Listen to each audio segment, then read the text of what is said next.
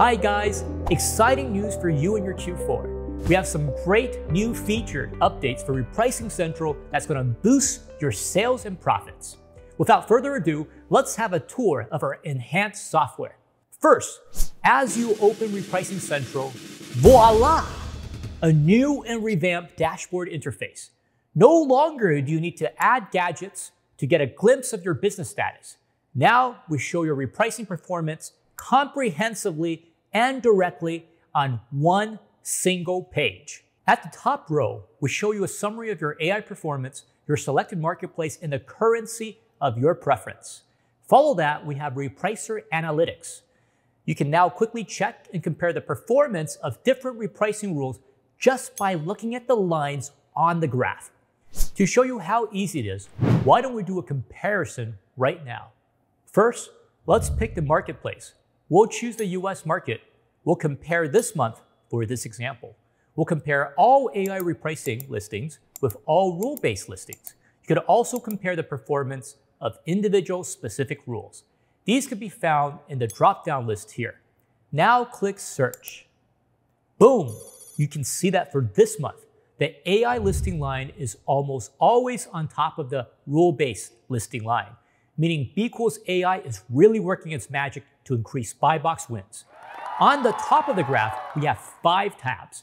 Beside comparing buy box results, you can switch to tabs to compare sales, orders, and average sales per listing and average orders per listing. Next, we have the top 10 best performance listings.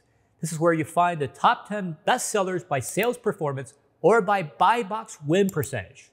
After the best 10s, we have the listing overview. This is essentially your repricing central account health report. Here you can have a very clear and holistic view of your repricing status in numbers. It includes all the important aspects that you should pay attention to, such as the number of inactive listings, but the delisted listings, the ones that are missing min, max, or a rule, the ones that is not in the buy box. And that's actually one of the most requested filter options. So we decided to include it in our dashboard to save you filtering time. That's your new dashboard. All very clear to your instinct, easy to use.